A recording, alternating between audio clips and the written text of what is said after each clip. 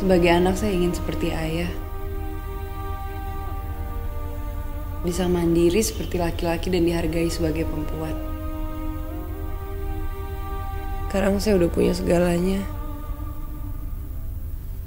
Saya nggak bahagia, Bi. Pistono, yang tegar, Bibi kan juga ibumu. Hidup ini perlu keseimbangan. Nikah itu penting ya. Laki-laki dan perempuan bagai sepasang sayap burung yang semakin kuat tiap sayapnya, semakin tinggi terbangnya. Dan itu pula yang akan melahirkan keluarga. Jadi kamu tidak akan sendiri dalam menghadapi hidup.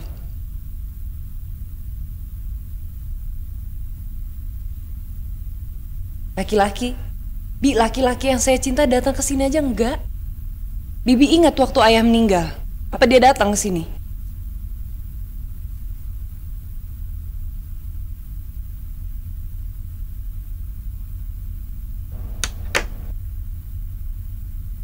Sepantaran udah pada nikah semuanya. Yang masih pada single takut karena saya jauh lebih sukses dari mereka. Laki-laki semuanya egois, Bi. Mereka nggak bisa ngerasa tersaingin. No, sini. Perempuan kita tuh dilahirkan beda dari laki-laki. Perempuan punya kewajiban yang seutuhnya.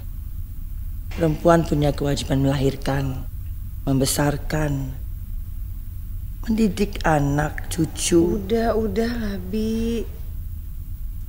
Saya nggak butuh laki-laki. Bibi tahu selama ini saya bisa sendiri kan? Yang penting udah ada Bibi, buat saya udah itu cukup. Bibi akan selalu mencintai kamu, Nok. Bibi tadi ngomong apa? Bibi tadi ngomong apa? Sejak kapan Bibi ngomong cinta-cinta tuh sejak kapan, Bi? Sejak kapan ngomong cinta-cinta? Pistono.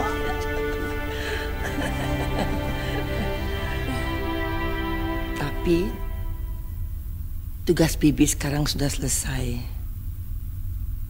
Besok Bibi mau pamit pulang ke Trusmi.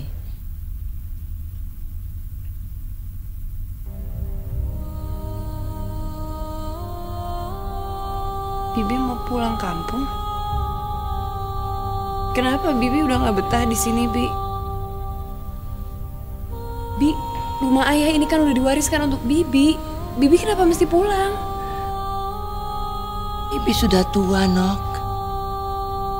Ingin bersama cucu, keluarga.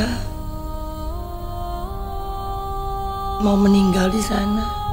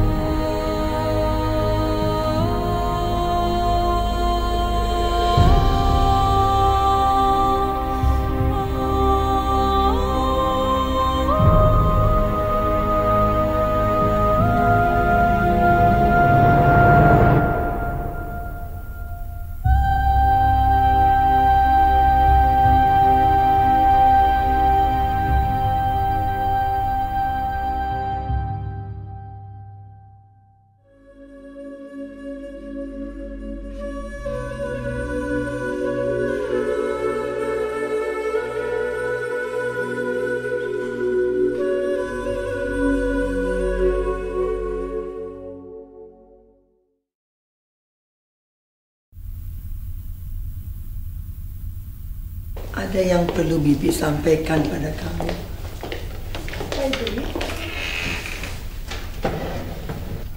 Ayahmu meminta Bibi menyampaikan ini kepadamu.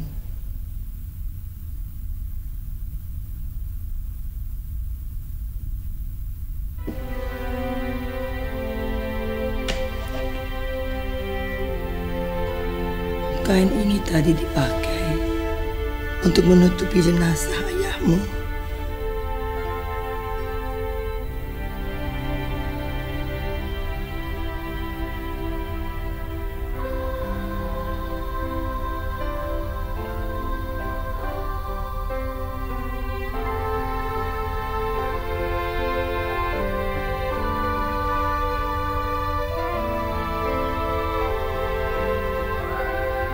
Kain itu dipakai ibumu ketika mereka menikah dulu.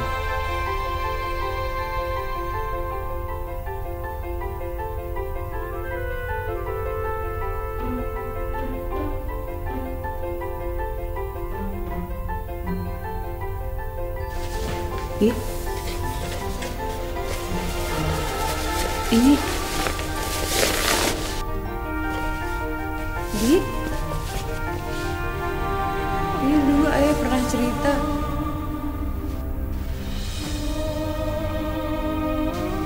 Ini kain yang dipakai untuk bedong saya waktu lahir.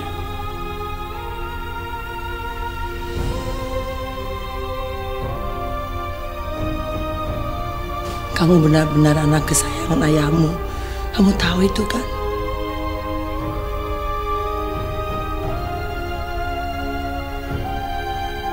Peninggalan-peninggalan ini sangat berharga. Batik-batik ini tradisi kita, Nok. Kita lahir di bedong dengan batik. Menikah memakai kain batik. Dan akhirnya kita mati ditutup dengan kain batik. Itulah kehidupan.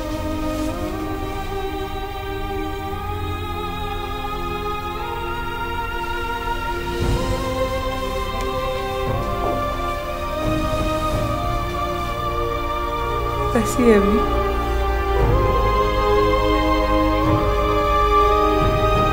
Saya akan menjaga kain ini seumur hidup.